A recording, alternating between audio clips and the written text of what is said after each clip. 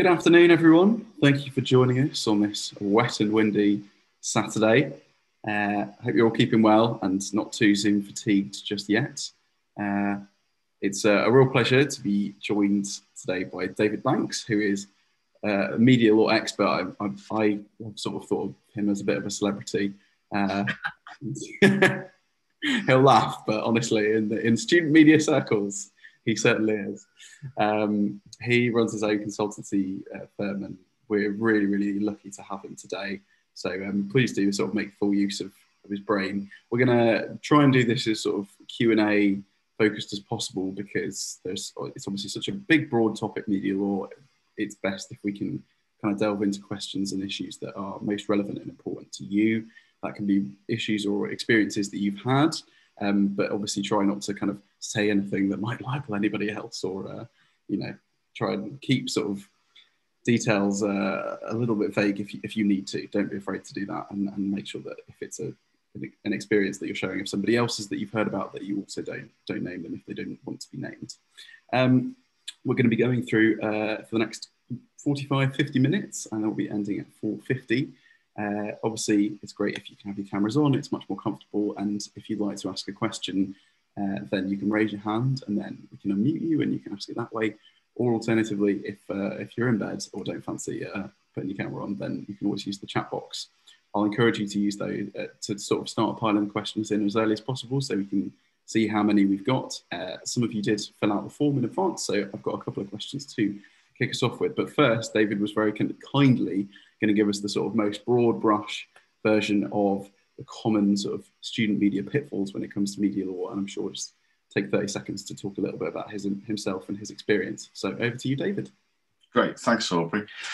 Well, hello, everyone. Um, yeah, I just thought some of you, despite my celebrity status, some some of you might not know me, so I'll just quickly explain who I am. Um, yeah, I'm, I'm a journalist, not a lawyer okay, which I don't know whether it's a good thing or a bad thing. But anyway, I've been a journalist now for 30, 30, God help me, 33 years. Um, and I, but way, way back in the midst of time, I did a law degree. Uh, decided I didn't want to become a lawyer, decided I wanted to be a journalist. And so I went off in, and into a career in journalism. But then, um, some years into that, as I was kind of climbing the greasy pole of management, um, one of the editors I was, I was working for suggested I go and work at the company training center for a while. He said, go off and do, do six months of at this training center to add that into your sort of management skills, add training in, you know. So I thought, all right, I'll go up there. It was in Newcastle as well, which was quite an attractive proposition because Newcastle obviously has this reputation as being something of a city that knows how to enjoy itself. So off I went to Newcastle for what was supposedly six months. Um, and they found out I'd done a law degree there, and they said, "Well, you can teach law to journalists, then, can't you?"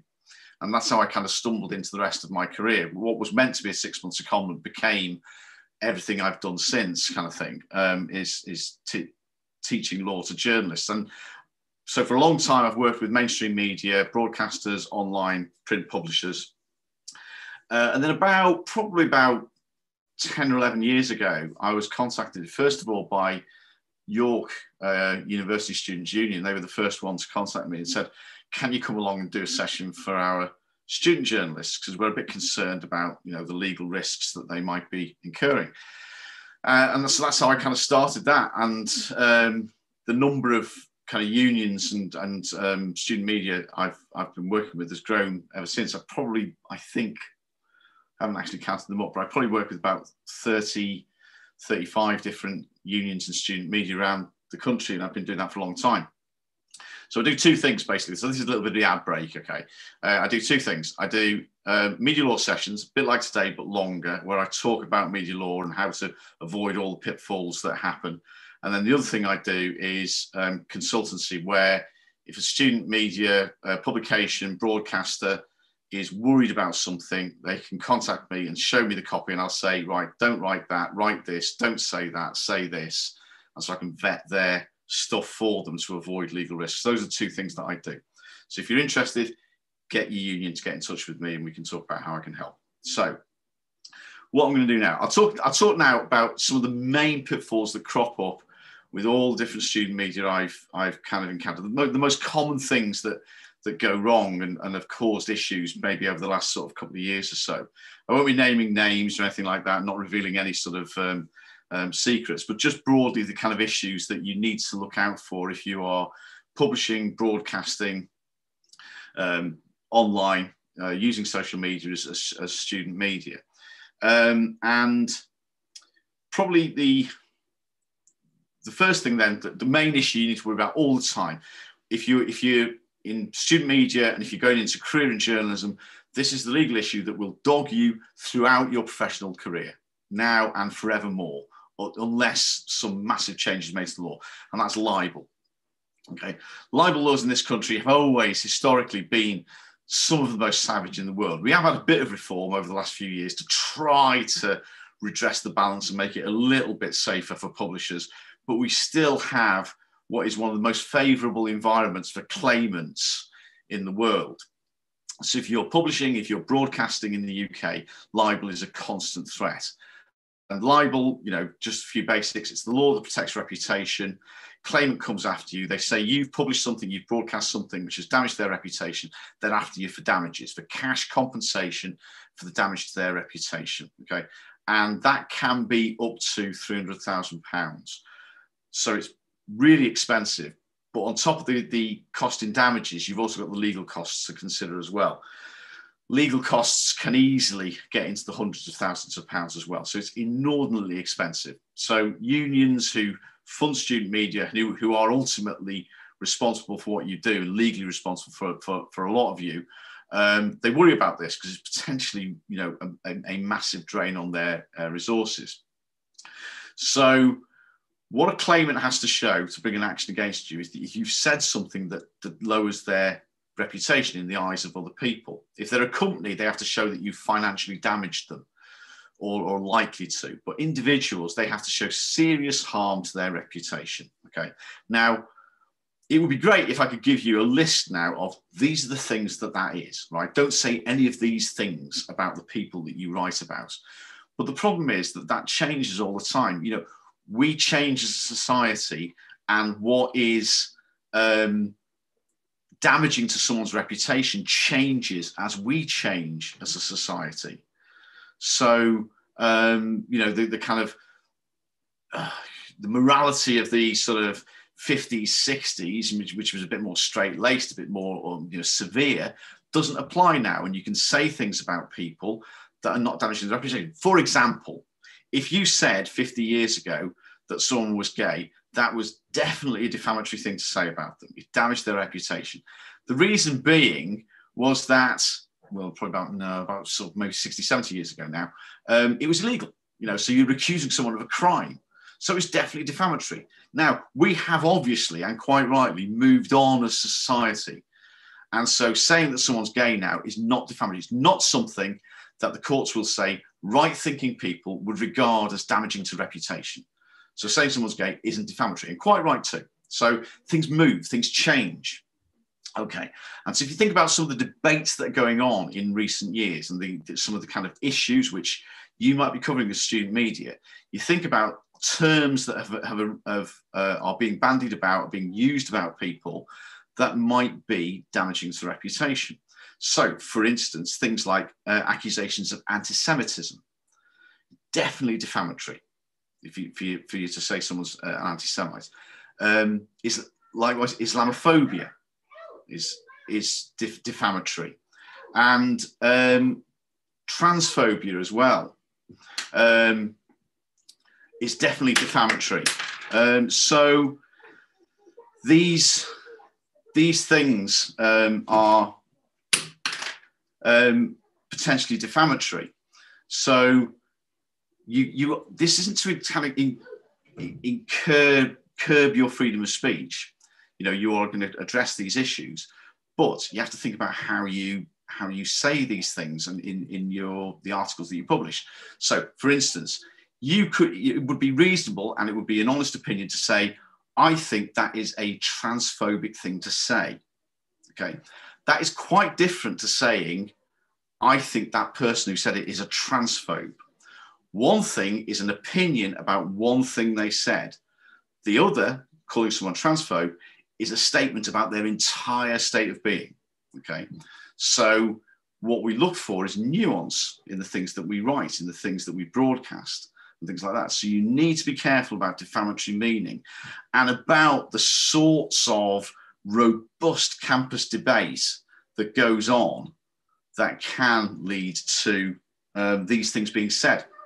One thing you have to be cautious about is the repetition rule in libel. Okay. You might well think, well, as a student media outlet, you know, we're not saying these things. We are uh, reporting what some of the student body have said. We are interviewing, you know, academics or the people who are saying these things to us. The rule in libel, though, is that anyone who repeats defamatory content is liable for it. So the person you interview has a liability because they say these things you then have a liability because you repeat them to your audience. Okay. So they can be sued, the person you're interviewing can be sued, but you can be sued as well. So we don't get off, we don't get away with saying, we're not saying this, we're just telling you what someone else said. Okay. Nor do we have a defense of saying we honestly believed something was true when we published it. Um, truth is a defense in libel, but to have that defense, you have to be able not to say, we thought it was true or we honestly believed it was true. You have to be able to actually prove it's true. So you need to think about how you're going to do that. What evidence do you have? Do you have you know, documents, photographs, audio, video, these kinds of things? Be very careful, and I cast no aspersions against individuals here, be really careful about individual students as a proof of truth. Okay, you may very well believe they're telling you the truth. Okay, and they may well give you a very compelling story of what's happened, what they've experienced, what they've seen, what they witnessed, whatever. But you have to be confident that they will confirm that potentially in a court of law. And people, you know, and this is just generally not just students, people generally have got an awful habit of telling journalists one thing, but then when a legal threat emerges, they vanish to the four winds and you're left carrying the can.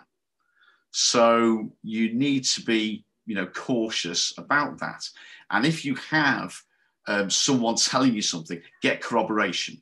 Can they produce some evidence, some, you know, even other students that corroborate what they say. So libel's an issue. The other issue that's emerged recently is in privacy. Okay, we've all got a right to privacy, and privacy is being kind of developed by the courts. It's a relatively recent development in in um, in the law in this country. We haven't had privacy rights for a long time, only really since the Human Rights Act in 1999.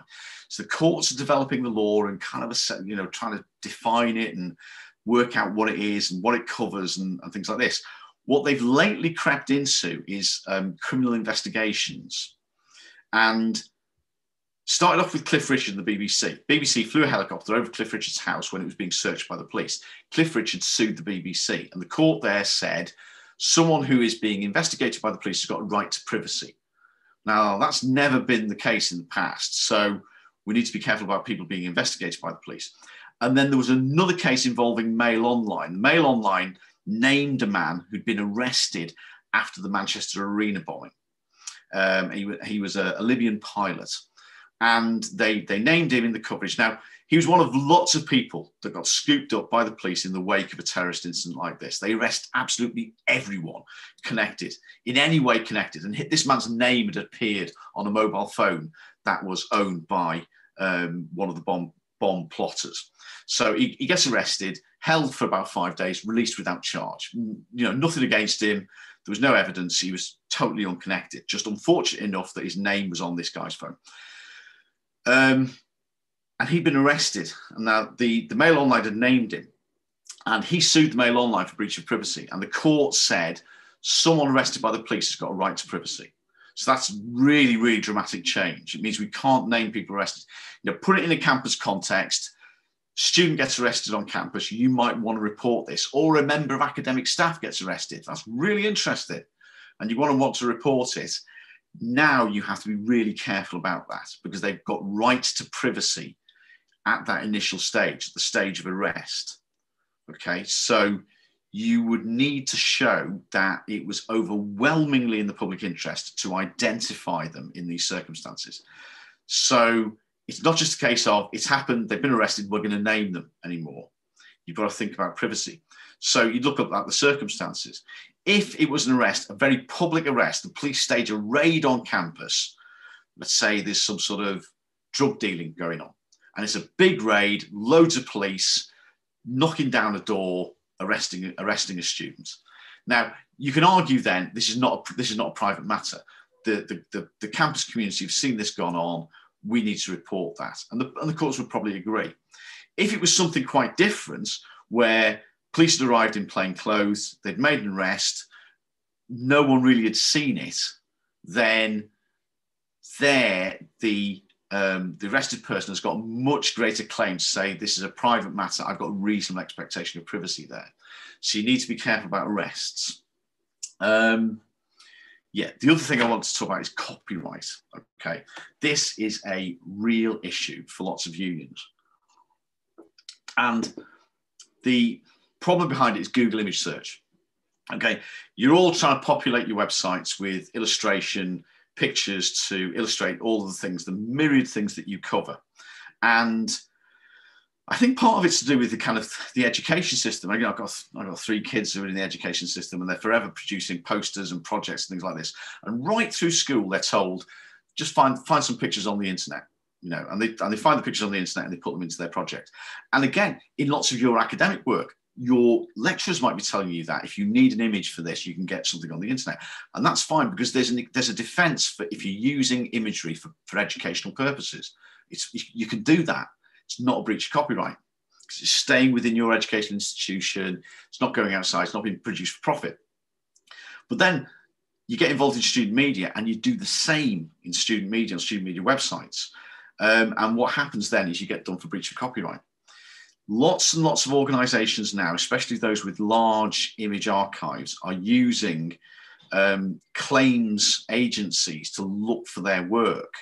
And what these claims agencies do is they use um, bots to crawl the net looking for the imagery owned by these archives. So they've got like a copy of the archive in their memory, and then their bots just go out there 24 7 looking for these images. And I've now dealt with so many unions where they've had a massive bill um, from one of these agencies that has found use of copyright imagery on a website that student, student media. One of the latest ones we had, again, I said, naming no names, but it was a student radio station, and they'd used about 12 images um, from Reuters. Reuters is a big news agency. They used 12 Reuters images about three or four years ago. Anyway, this claims firm found them and sent them a bill for three and a half thousand pounds.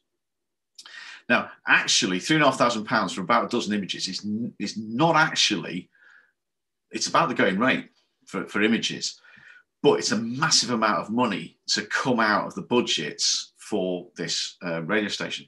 Anyway, we negotiated it down. In the end, Reuters settled for less than a thousand pounds still still a big sum of money, but a hell of a lot less than what they were originally claiming. So, if anyone, any of your student staff are putting imagery into your website, onto your social media, anything like that, you've got to tell them they need to either have permissions to do so from the copyright holder, and that is the creator of the whoever took the photograph, or they've got to be using Creative Commons sites. And if they use Creative Commons sites, they must make sure they're complying with the T's and C's of that site. Very often, the terms and conditions of the sites will ask for a link back to the original site you got it from and a byline for the photographer. And we've had, again, I've had unions where they've had a bill because they didn't byline the photographer. So this, this is the thing that will cost you money if you're doing this. And it might not cost you money this year. And this is part of the problem. A lot of the crop problems these, that these cropping up are things that students did three or four years ago and they've gone. You know, they, they're, they're off on their careers, they've finished, but the imagery is sitting there waiting for someone to find them. So it's a real, real problem. And the final thing I want to talk about then is um, identification in sexual offences. Your campus is like the rest of society.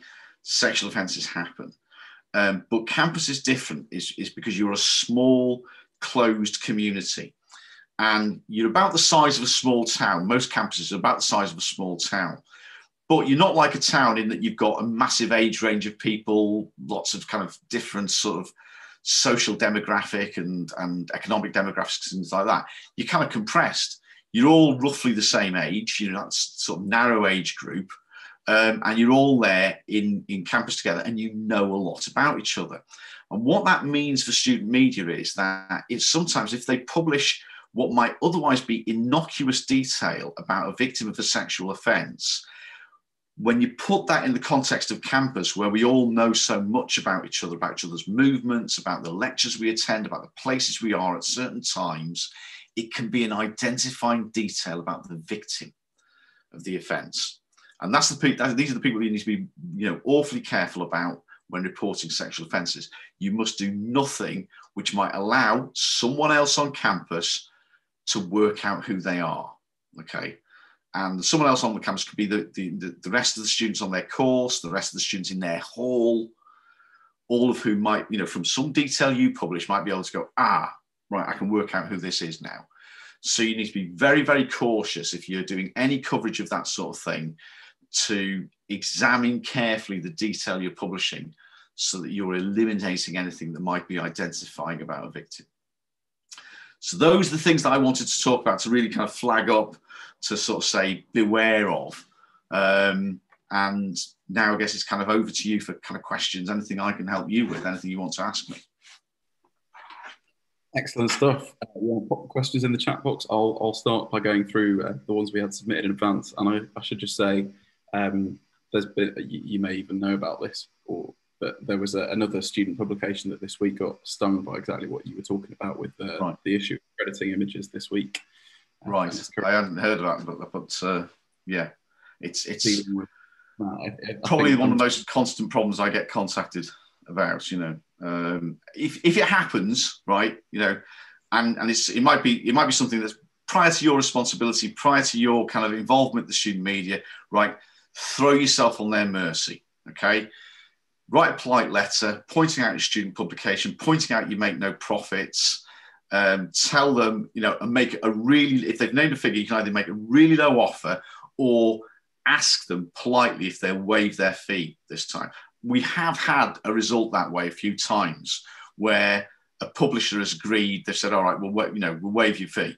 You know, so you can get away with it, but like I said, be polite, be responsive, and sometimes it'll sometimes it'll work. At the very least, they'll they'll reduce the charge. You know. And I wonder if the it was in this case the person said that uh, it got it was a photo from Wikimedia, um, which they were allowed to use, but they didn't credit correctly. Yeah. Uh, and so Wikimedia rather than the photographer's name, and then it got picked up by a crawler site.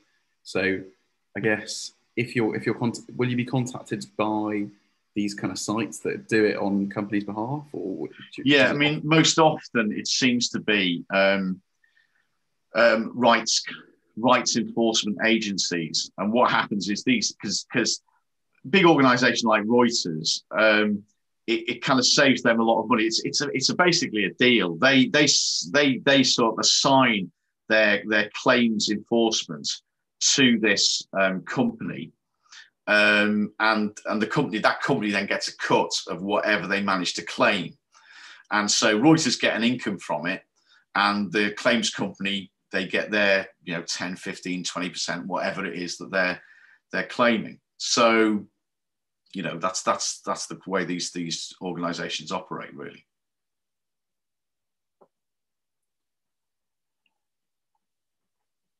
Oh, I can't hear you, Aubrey. Thank you. There's already a couple of qu questions in the chat, just again to follow up on stuff we've already talked about. Um, first of all, is there a is there a specific size when you're talking about a group of people that you can't identify, whether that's kind of you know, yeah. risk of defamation or risk of uh, accidentally jigsaw ID? What's okay. the sort of, is this is this with regard to um, I guess this is regard to libel, is it? I think. Well, I, I, thought about it because of what you mentioned. I think it was about sexual offences. Uh, oh, okay, yeah, yeah. Um, or a more general principle. Of, well, I'll, I'll deal. I'll deal with both. Okay, with regard to sexual offences, it's the question is: Is there something in there which which would identify this individual person, which allows someone to put a name to, to the victim? So, saying a student at the at the university is the victim of sexual, you know, no one's going to be able to put a name because of that. But it's where you start narrowing down to to you might say it's a particular hall of residence at a at a particular time. Um, it might be um, uh, a kind of um, a lecture they were attending or something like this. It might be some details like this which might allow people to put piece together um, bits of information which allow them then to identify the um, the victim. And so it's being very, very careful in the knowledge that um, if we did, if mainstream media did it in the outside world, it wouldn't be an identifying detail because you are in this um, kind of much more uh, enclosed community. Um, it, it, it's more of a clue. Okay. Just with regard to identity in, in libel, um, one of the things the claimant has to show is that they've been identified by what you've published. Now, a lot of the time what we publish we name people we name them and things like this in, in which case it's not up for up for um, discussion sometimes though and i do see this with student media um, a decision is taken to, to remove a name because they realize it's a defamatory story and they think okay right if we keep that person's name out then the story will be safe it, it doesn't it, it doesn't really make you safe though because again there might be enough detail context within the story for students, staff on campus to identify who it's about. Okay, so it's still there's still identity there. But the greater danger of doing this by taking out a name is, is what's called a group libel. And this will be a classic one where you do complaints about lecturers or anything like that. Now, let's say a group of students come to you and they've, they've got complaints about an architecture lecturer. And, uh, you know, he hasn't been attending lectures, hasn't been marking work, group of students really concerned. They think they're going to fail their course because of the behavior of this lecturer. You want to do the story on it, but you realize it's defamatory implications. And so you take out his name, okay, and publish it. Well, it turns out then there are only five possible lecturers that could be. There's five lecturers teaching first year architecture on that campus. Instead of getting sued by the one who the complaint was about, you, you're potentially getting sued by all five of them because they can all say, someone think someone reading this might think that's me. The other the other um, gr- group I worry about in in campus terms in around this is coverage of sports societies. Now, you know, I, I speak as a former member of Liverpool Polytechnic Rugby Union Football Club, whose behaviour of a Wednesday evening after a match was not always as exemplary as you might wish. Before social media, so nothing ever got recorded. But um, sometimes you might you might cover the misbehavior of a, of a squad, and in doing so, you you are um, libeling the whole squad, when in actual fact it was probably a small number of them, and those who weren't involved can say, "Well, hang on."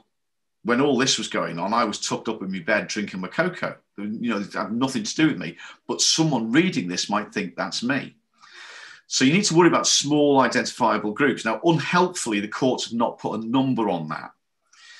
So you couldn't libel all the lecturers at university, but if you narrow it down to a particular subject and a particular year, then you're getting down into small handfuls of people. So I would be very cautious about a group that is f- probably fewer than 25 people. Okay, so that covers sports squads, academic departments, that kind of thing, you need to think very carefully about libels with those, those sorts of sizes of group. Cracking. And I'm going to jump straight into the questions in the chat. Um, so George Sims asked, how is it best to verify that sources you use are legitimate, especially online? Um, and George, what do you want to sort of just type in and tell us a bit more about what sources you mean? Do you mean kind of sources giving you information, like anonymous sources who would give you a tip online?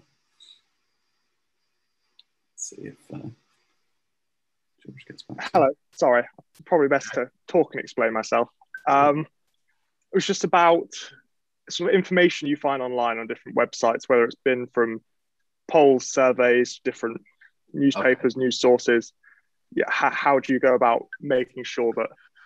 Well, or, or yeah, working out yeah, that I mean, they that, haven't that, That's a kind of perennial issue for for journalists, and, and a lot of it depends on how um, assiduous they are in um, wanting to, to do that verification. I mean, some some news organisations will run articles on on the most spurious of polling and and sourcing and things like this. Others are much more um, take a lot a great deal more care um, about the you know the sourcing and the accuracy of it. I mean, I'd obviously advise the latter because you, are going to run into fewer problems down the line if you've done your best. Even if you get things wrong, if you can show you've done your best to verify the information you're getting, that will help in things like public interest defences and things like this. Um, I think where you where you're getting information from, perhaps um, sources online that you can't always verify, then the key thing is corroboration. Is using that as a starting point and saying, right, who else can we talk to to move this along? to to verify this, to moderate it, to, to get some nuance in there, to check this out. Um, you know, the temptation can sometimes be because of the, you know, fantastic story you're getting um, to, to run it. I mean, there's there's a kind of there's a, a, sort of cautionary tale from Germany. It was in the, in the breakup of the Soviet Union. The breakup of the Soviet Union, there was this kind of a story doing around. It was like, like a kind of urban myth that got some traction um, about um, the availability of a, of a, a substance called red mercury, which was supposedly one of the substances you needed if you were going to make a dirty bomb, okay, a, a, kind of radioactive bomb. And there was a kind of this, this terror that was going around, breaking around the Soviet Union, all this kind of nuclear weapons everywhere and it was all going to get sold on the black market and we were all going to die in some fiery, awful Armageddon. And so the, this German newspaper was um, um, investigating this. And so they decided that they were going to pose as terrorists trying to obtain red mercury. Okay. And lo and behold, they found someone willing to give them some. I mean, what a massive story. They found red mercury, you know, blows it wide open, this black market in radioactive material. And, and they go for this until they discover that the source of their red mercury is another newspaper investigating this, posing as sellers of red mercury, trying to find terrorists buying it. You know, so they, they stung each other, these two, these two newspapers. Now, this is what can happen. You can, you know, hopefully you're not going to end up in that sort of situation. But with anonymous, if you look for it, you can find any sort of rubbish online, and it is that verification and and trying to track down other more authoritative sources. You can at least kind of moderate what you're publishing and give you some information which which should lead you to be able to verify it or at least try to verify it um, and and that you know might help in those circumstances. But it's not easy. You know, it's a, it's a real challenge.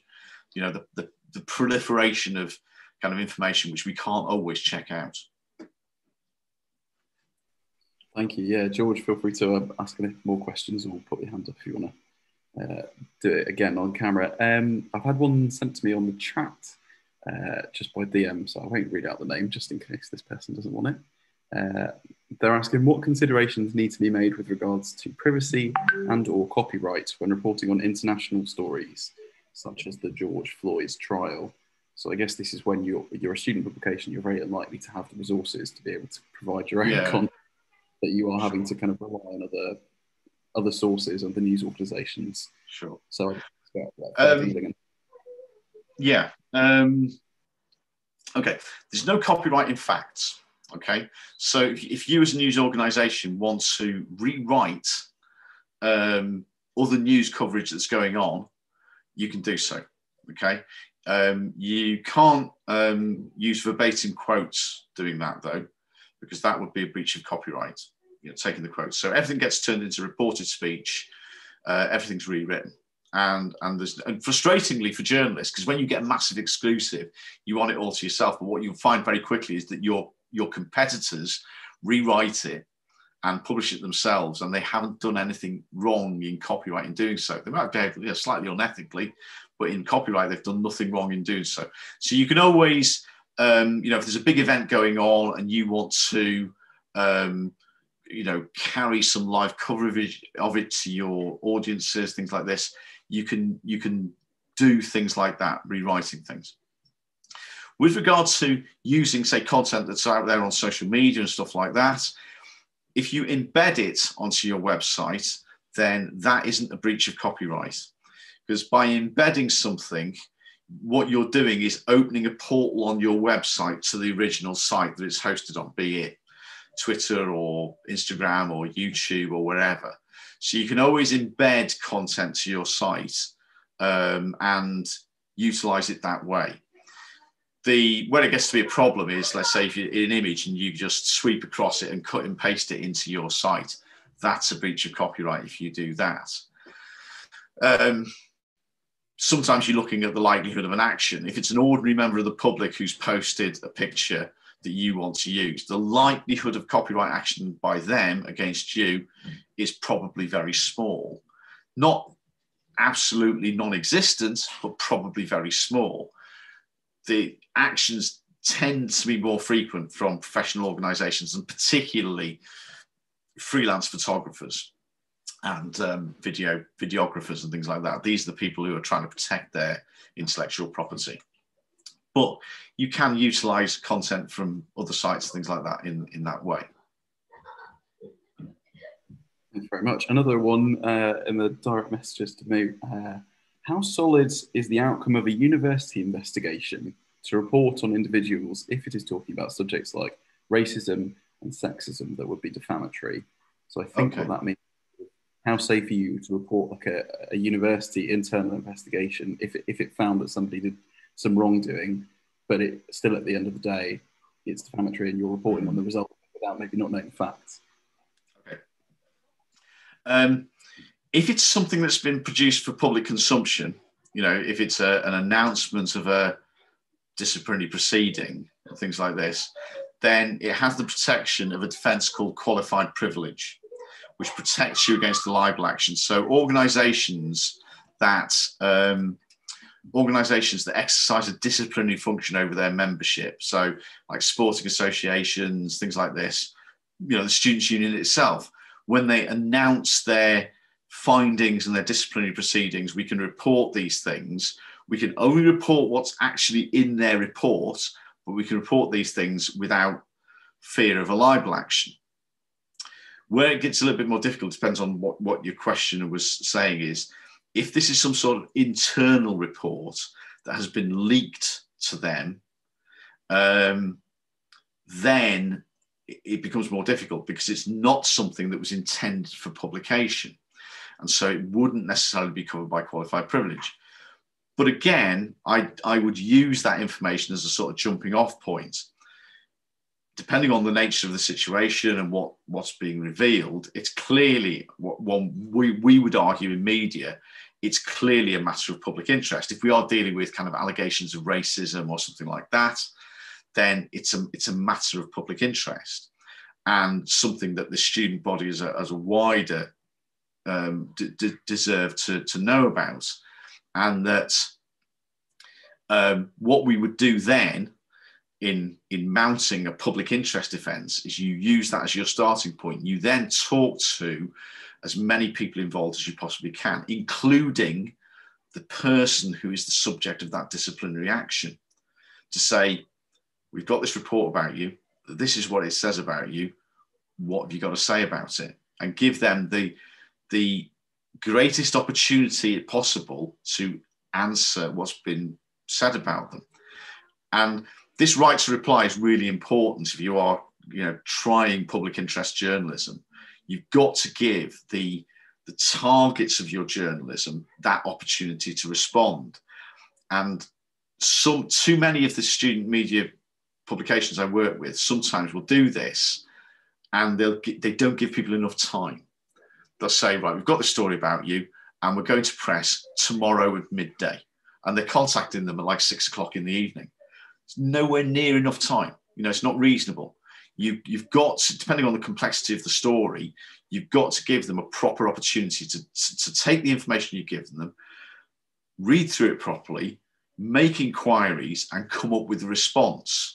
And when, if they do respond, you need to weave that into your coverage. And it needs to be a balanced account. So you're not doing 20 paragraphs of accusation followed by two paragraphs of denial. That's not balance. You've got to mix the two together so that the allegations being made against this person are immediately followed by their response so that the reader gets this balanced account of what's being said. And it can be an effective way of, of, mounting a public interest defence. So that's with that situation, depending on whether it's public or private report, that's where you know the, the, the law might might or might not apply. Fantastic. See a question about satire there from George. Yeah. Oh, yeah. You can see that, can't you? So um, somebody's asking basically about the rules around jokes, sarcasm, and satire when it comes to libel and how you can sort of, I guess, defend yourself or. Yeah. Your satire is well is well defended. You know, satire is um, defensible, um, but you know it has its it has its limits. And you know, Private Eye is a satirical magazine, but they are forever they are forever being sued by people because sometimes what they what they do isn't satire; it's a direct accusation. Private Eye does a mixture of um, straight news stories about various kind of nefarious sort of businesses and individuals and politicians and people like this.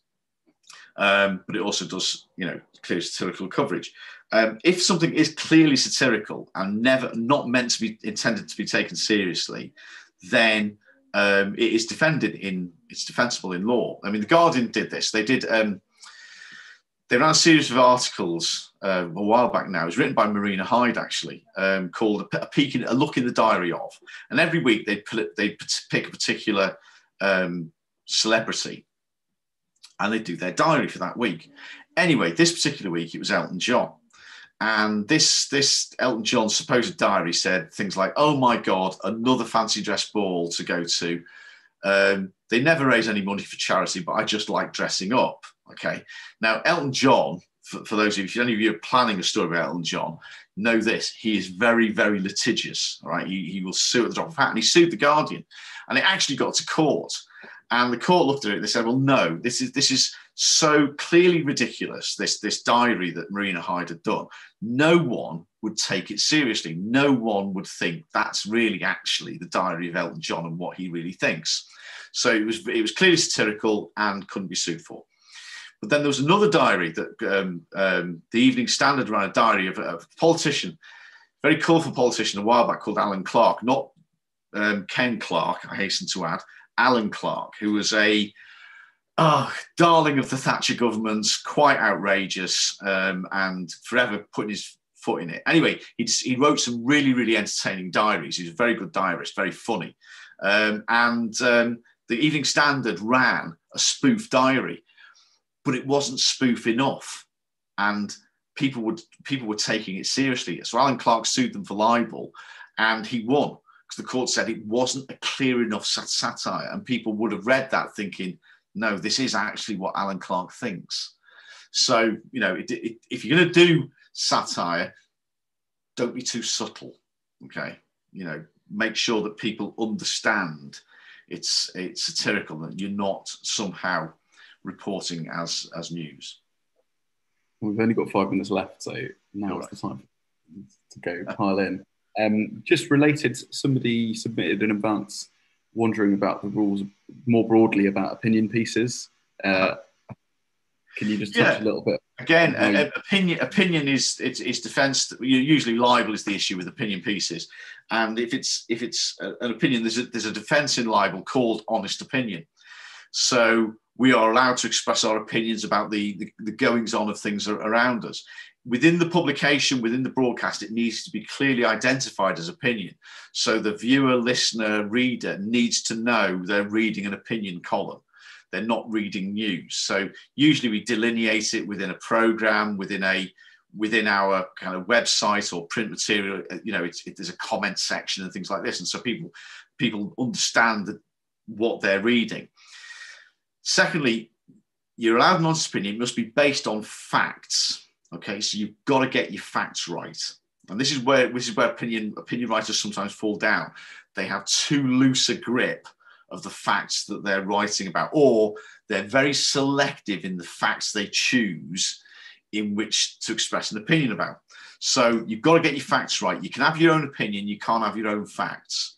So if you are going into opinion writing, if you're running, and I know that student media do run a lot of opinion uh, pieces and things like this, make sure that they've got a grip of, of the subject they're writing about so that they're not basing their opinion on an untrue or inaccurate version of the facts. Fantastic. Um, another thing, something else asked in advance. How do they make sure they have proper legal representation when faced with, in their specific instance, a libel accusation? Uh, what's what's sort of the first thing that you should do? Well, and then I'll ask, add on off the back of that. What's the first thing you should do if you get a, a libel accusation? Right. Okay. The way it usually happens next, there's a, there's a pre-action protocol for libel. They can't just drag you into court straight away. They have to give you a chance to sort the matter out. So usually you'll get what's called a letter before action. Uh, and that will that will usually arrive from the claimant's solicitors, um, explaining what the thing is about, whatever they're complaining about, and giving you a chance to sort of explain yourself. Now, at that point, you might be able to say, "Well, hang on, we've got photographs of him doing it."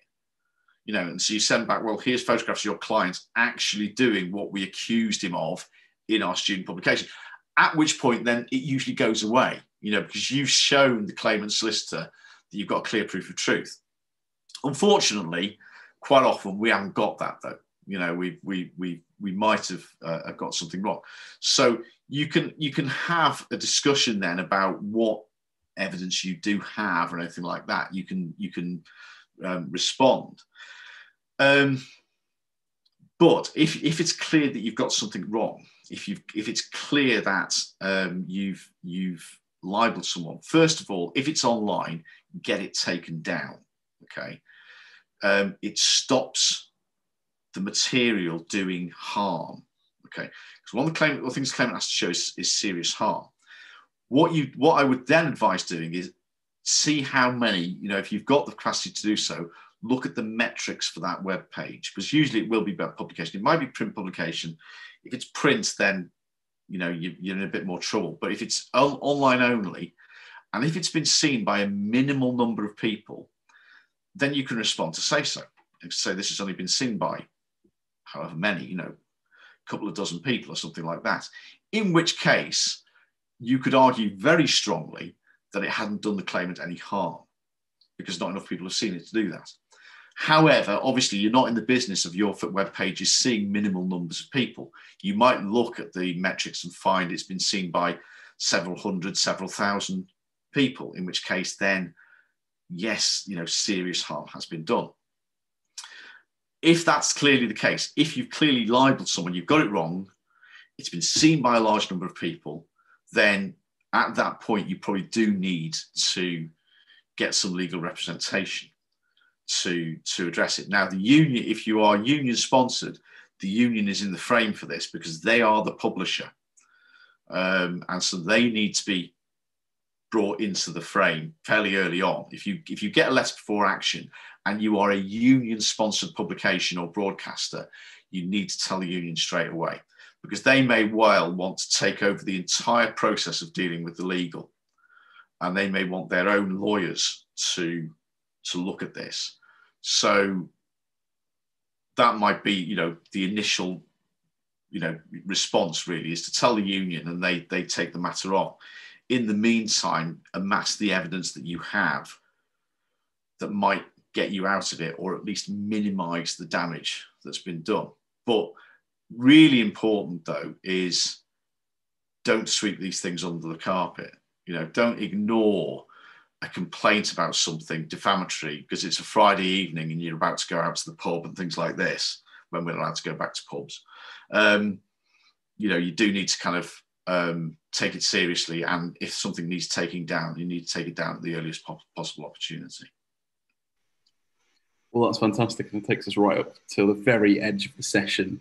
Um, so, thank you again so much, David. You have You're hopefully saved some people on this call uh, lots of money, lots of stress, uh, some hair as well. Maybe they might be tearing out. Um, yeah, we like I said, we know people who are going through some of these sort of issues Yeah.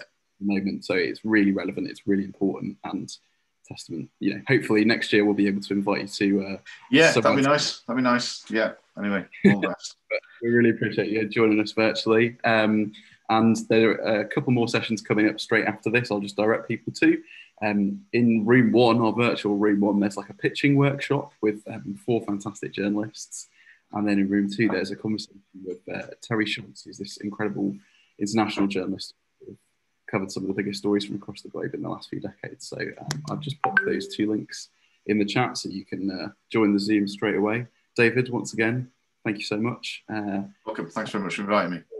we had some great questions there. So have a good rest of your day, and, uh, and hope, let's hope we can all go back to the pub fairly soon. Thanks.